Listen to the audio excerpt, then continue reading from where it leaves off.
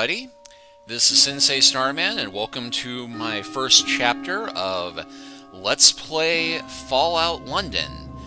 Now, for those of you who hadn't heard about this, uh, this is a very ambitious mod put together by a group called Team Folon that decided to explore what the Fallout universe would be like in the ruins of London.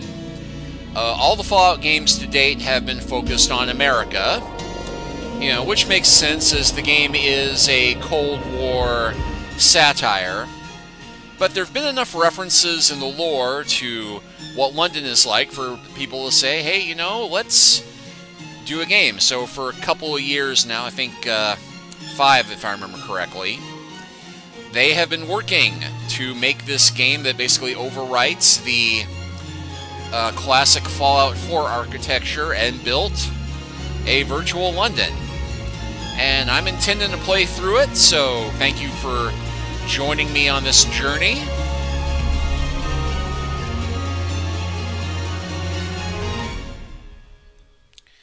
And let's go ahead and watch the opening movie.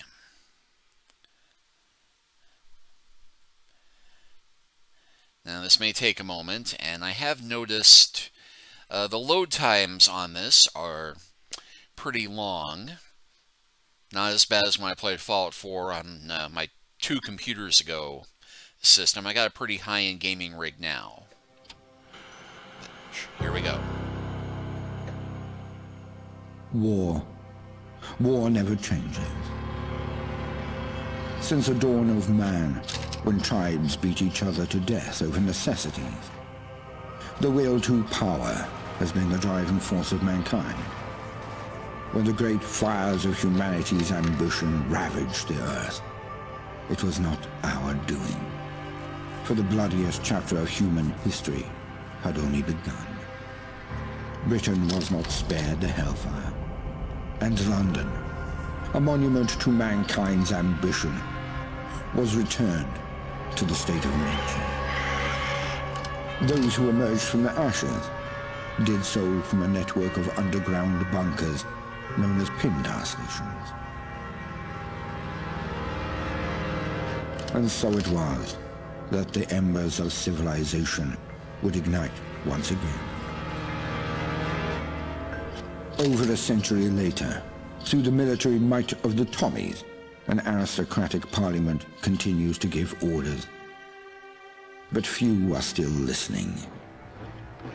In the Tower Hamlets, the fifth column rises. Training drums beat and uniforms march, all in the name of their dear leader, Eve Varney. Across the Thames, in the pastures of Richmond, a great army gathers strength. Styled on the Camelot Knights of days past, they're headed once more unto the breach.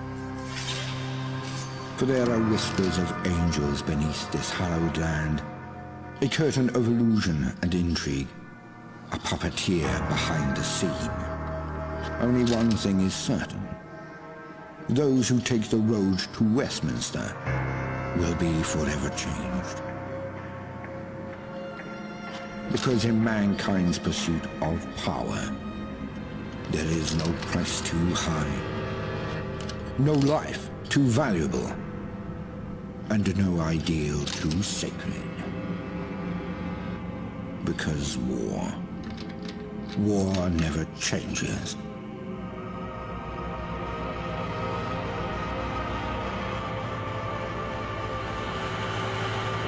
Mind the gap. Mind the gap. Stand clear of the doors, please.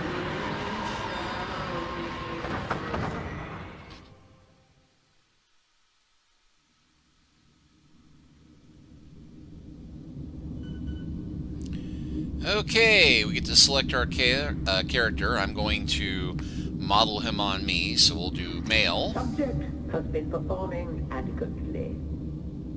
No spikes and visuals. Nothing unusual. Perfectly usual. Quiet. Smythe will be pleased. How are they in appearance? Uncertain. Perhaps we should take a closer examination. That sounds like Sylvester McCoy for Scientist 1. Okay, so this is typical of the character design from Fallout 4. We get a couple of defaults to start with. You know, 15 faces that you can move from here. I'm going to start with this one. I'm going to make him look a little younger, a bit more like me. So extras, you can add on face tattoos, damage, blemishes, markings.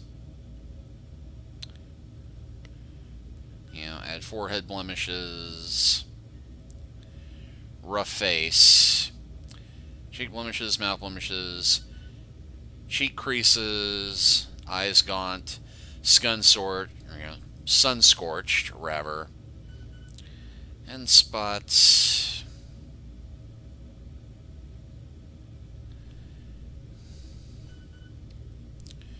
So yeah, you can do a fair bit to modify your character. I'm going to make him a little bit on the larger side, less toward muscular. Maybe not that large. And then for the face, you can select the details. Get the hair to, let's see, warm black, jet black, jack black. And the facial hair...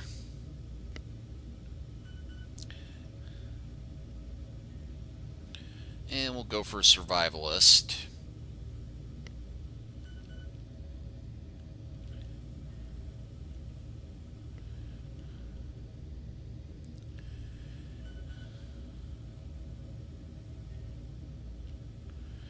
Okay, and hairstyle.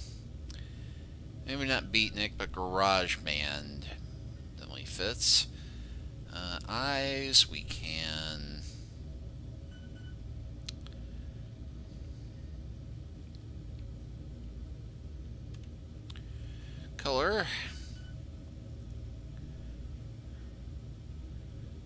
Sort of a brown and brown. I Guess one of those should be dark brown, but it'll stick with that. And you can right click to see the profile if feel like trying to play around with the nose too much and I can't imagine that you're too excited watching me try and mold this but uh, that's good enough looks broadly like me beard and long hair as I have now so we'll go ahead and go with that confirm character yeah I'm sure we'll have a chance to change it later if I feel like it Excellent. A rapid progress is being made. that definitely sounds like Sylvester McCoy. Of course. Now, what about their physical and mental development? Okay, here's where we set our stats. You start off with one point in everything.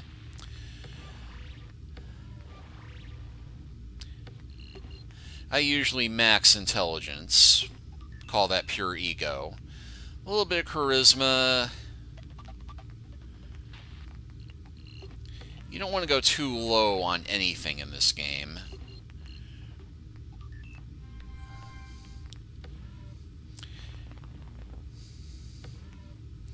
I'm good at sneaking around, so I'll put a little bit more into stealth.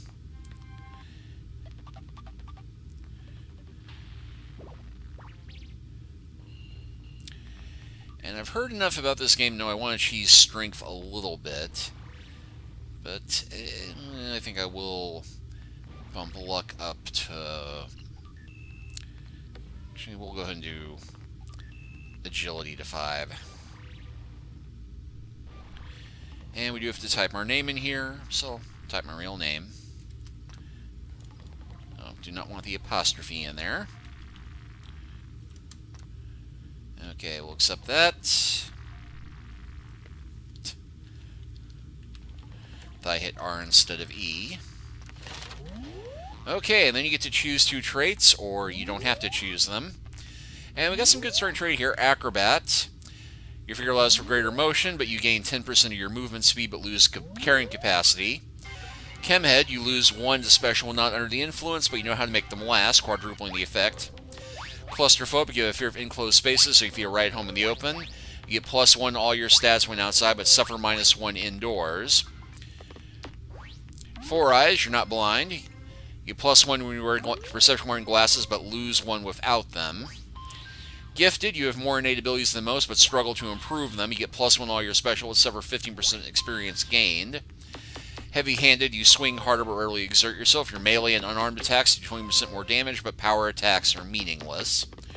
Hoarder, you get plus 75 pounds of your carrying capacity, but movement speed drops to zero when you're over-encumbered. You regenerate your action points faster, but your reckless nature causes you to take more damage. That's going to be a no. And you have Night Owl, which you know, plus one in one to intelligence and perception during the day, but you lose that at night. Numbskull, you get plus one in strength, endurance, and luck, but your intelligence can never go higher than three. Puritan, your body is a temple, plus one in strength and endurance. This is reversed if you drink alcohol or use chems, accepting anti-rad and healing stuff. Sleepwalker is a gift or a curse, who knows? You often find yourself waking in strange places with no memory of how you got there. Uh, I'm going to take Gifted because plus one to all your abilities ain't nothing. And unfortunately, since we don't start off with glasses, I'm going to take Heavy-Handed because from what I've heard, being able to do unarmed and melee is going to be very important in this game on account of there's a lot less guns.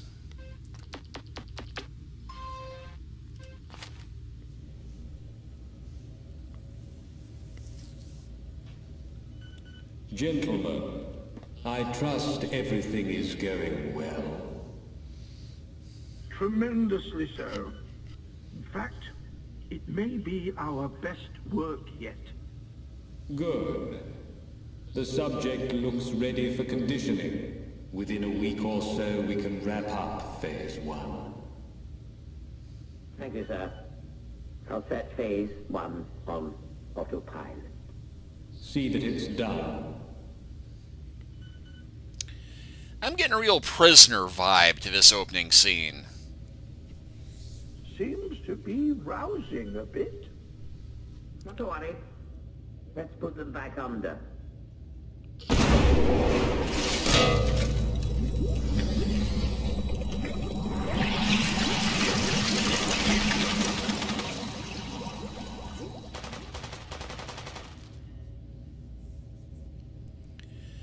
Okay, well apparently I just got put under.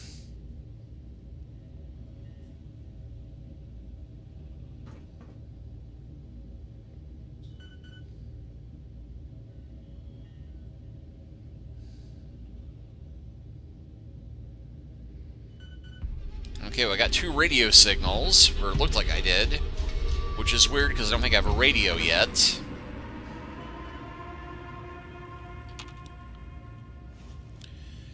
Okay, now they do kind of presume that you already know the basic Fallout uh, commands at this point, because we don't get any prompts as to what we're supposed to do here.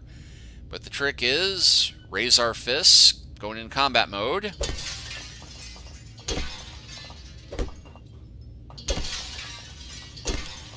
We can start punching our way. And this does not hurt my fists at all. And we can scroll back. See that we're wearing prison togs of some type. Now, here's the weird part. I can't access inventory yet. But I can start grabbing all the gear off of the scientists.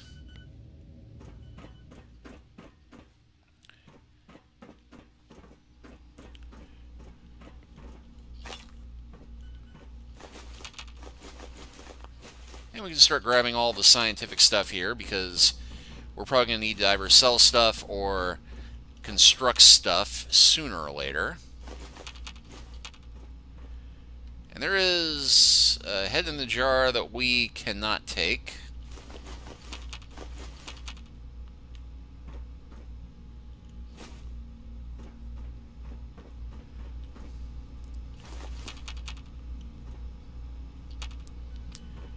And I'm going to stay in hide mode because that way if something attacks us, we'll have some warning. Maybe be able to avoid it. Okay, so nothing in the lockers here.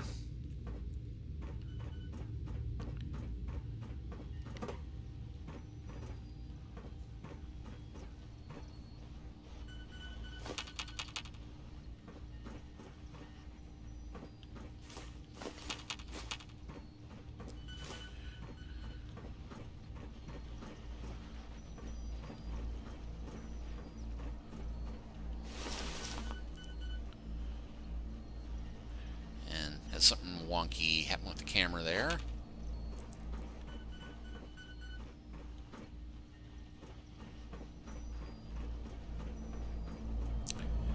Okay, grab myself some coffee cups.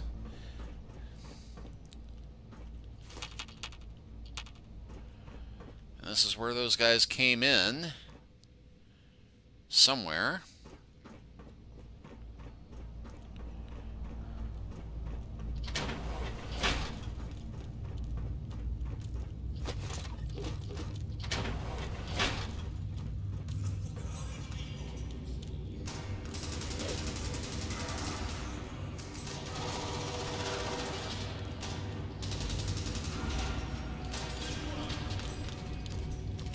Broken machine gun turret.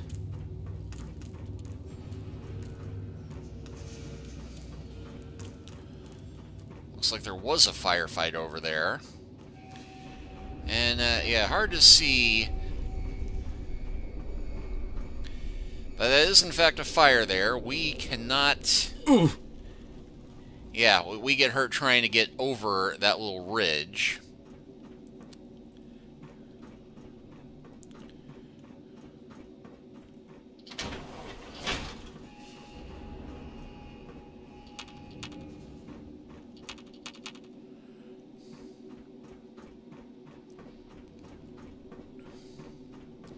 So we're not going to do that.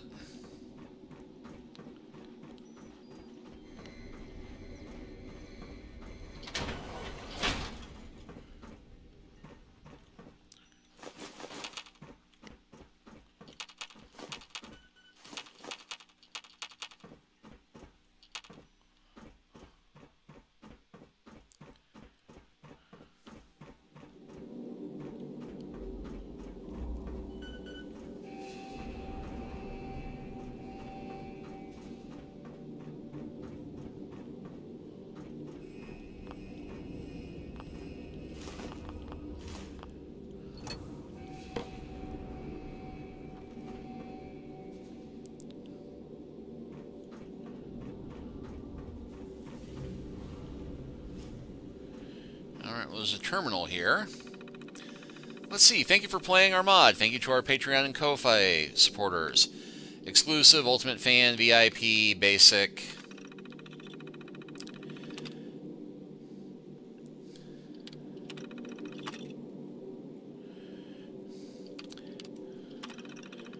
I guess that's just a list of everybody who has helped to support the game, which is a nice little touch.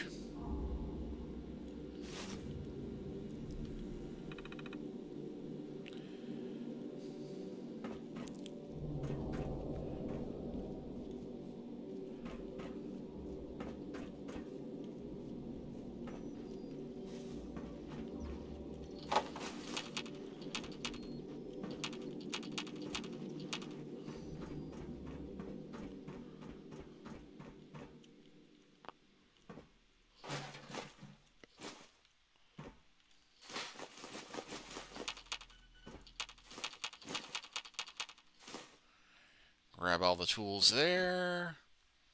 That's just shadow.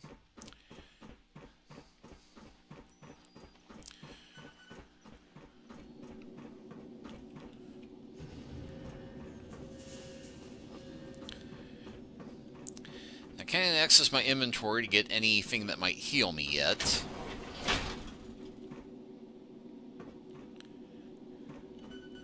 Yeah, but now we're detected. Uh, Says door is accessible. You can see some type of lab animal in those cages there.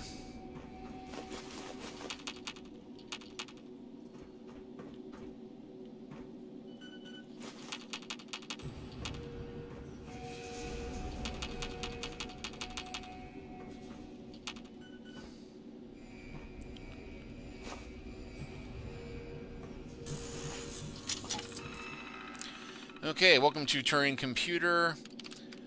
And we got the Rad Shrew release do reset door mechanisms. Let's see, unauthorized content, redacted. I have redacted and corrupted your file.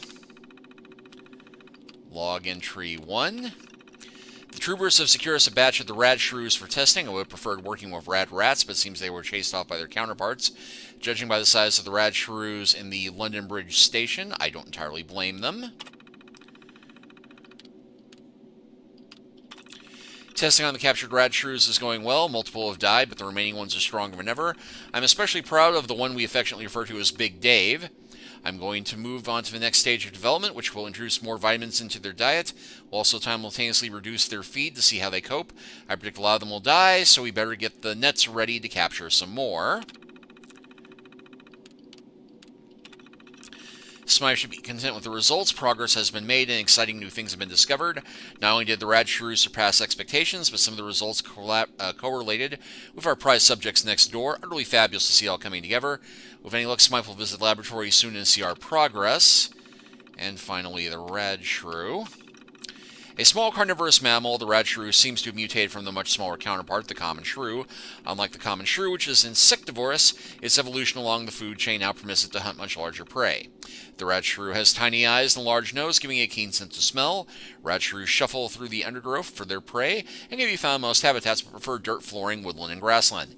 Active by day and night, they are very territorial and aggressive for their size and can sometimes be heard fighting. Their high-pitched squeaks particularly noticeable during the summer. Yeah, have you ever seen the movie Killer Shrews? And bingo!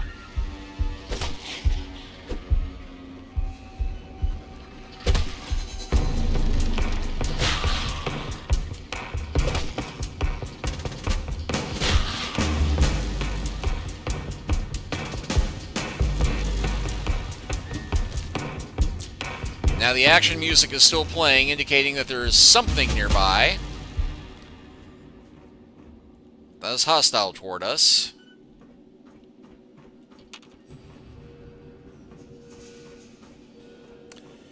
But we are now hidden. Meaning there is nothing here wanting to eat us at the moment. But, hey, we have just survived our first combat punching giant radioactive shrews to death.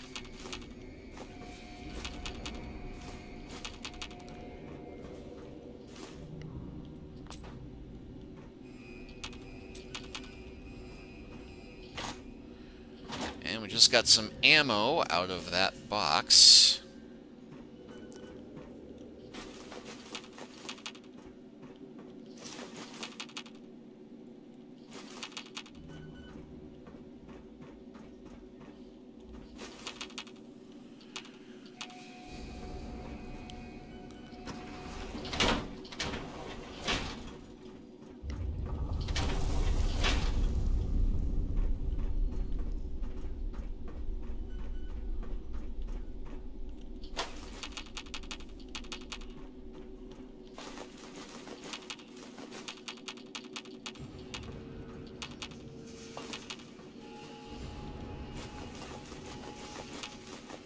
Amazingly, the test tubes stand.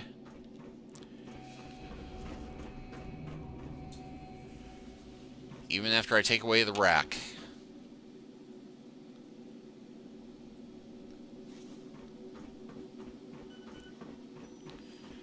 Okay, well we now we have a new goal, pick up the device.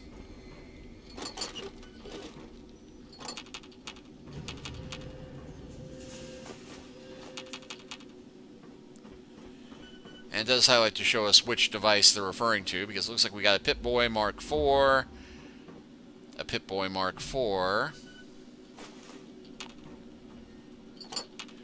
But what we're actually looking at right here is just the device.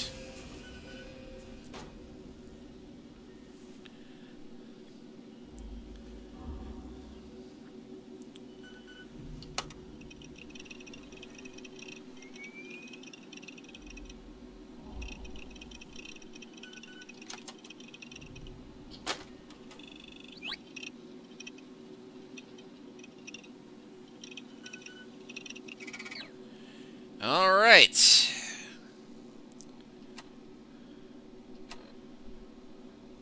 So now we got escape the facility. We have a map of our immediate surroundings.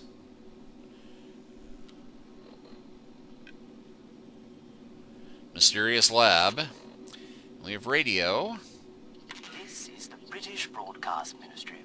I'm Bradley Fortworth, your host and guide through the wonderful world of classical music. Welcome to the program. Let's begin.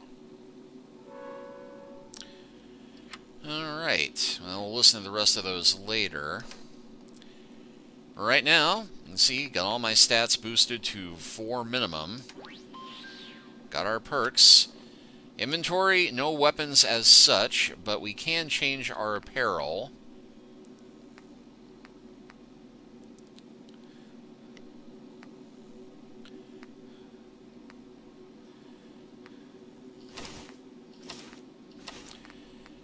Not sure if this is any more protective. Let's see, this increases intelligence and perception, but lowers charisma. And beyond that, we've got a ton of junk and a wee bit of ammo.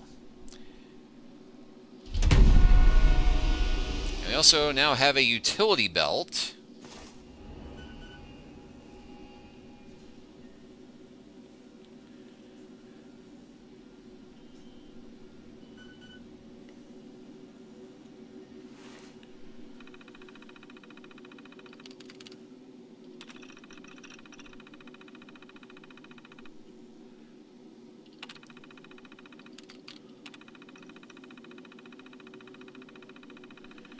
Looks like we got a fair bit about data mining.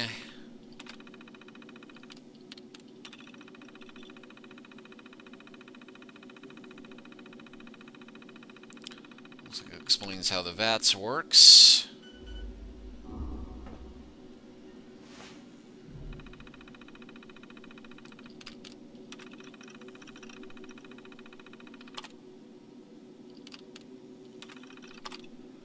It's about corrupted data.